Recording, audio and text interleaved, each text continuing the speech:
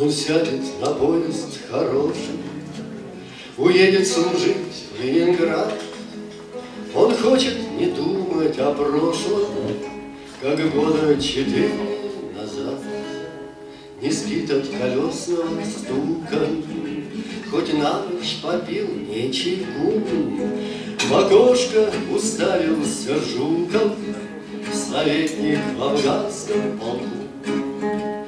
Он помнит, он помнит ту дату, Когда в роковом декабре В полку взбунтовались солдаты И ждали его на дворе. И вышел военный советник, Небрежно ремень теребя, А там под ремнем пистолетик, Девятый патрон для себя. Глаза опускали сарбазы И пятились по одному. Советник страшнее приказа, Они подчинились ему Своим пистолетиком малым. Сарбазов погнал он вперед Туда, где за каждым тувалом Мятежный строчил пулемет.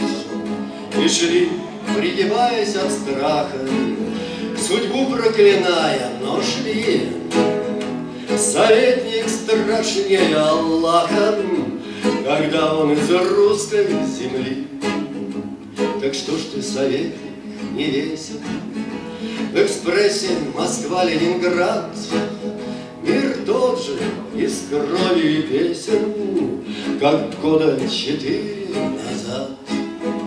Не ты уезжаешь в разлуку, А мы с тобой разлучены. Спи, Виктор Дмитриевич Жуков, Советник советской страны.